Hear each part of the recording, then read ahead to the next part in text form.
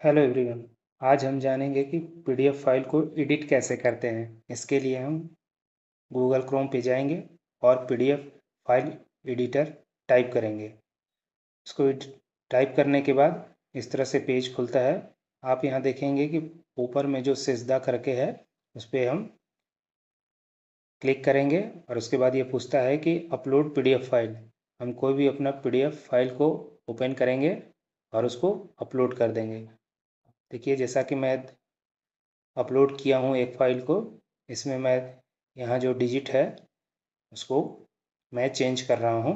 इस पर आप क्लिक कीजिए और कर्सर को वहाँ ले जाइए, उसके बाद उसको डिलीट कर दीजिए और जो नया नंबर है, उसमें आप डाल दीजिए। जैसे मैं यहाँ तीस हज़ार डाल रहा हूँ, आप कुछ भी डाल सकते हैं, जो भी आपको डालना हो, उसके बाद अप्लाई चेंज पर हम क्लिक कर देंगे। उसके बाद आप देख रहे हैं कि योर टास्क इज़ प्रोसेसिंग हो रहा है। और ये प्रोसेस होके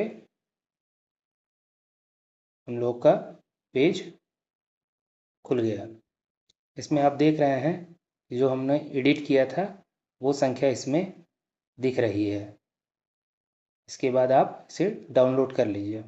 डाउनलोड करने के बाद आप इसको फिर से खोलिए और देखिए, ये जो संख्या हम लोगों ने डाला था, वो एडिट होके आ चुका है। यदि आपको मेरा वीडियो अच्छा लगा हो तो कृपया सब्सक्राइब करना ना भूलें। धन्यवाद।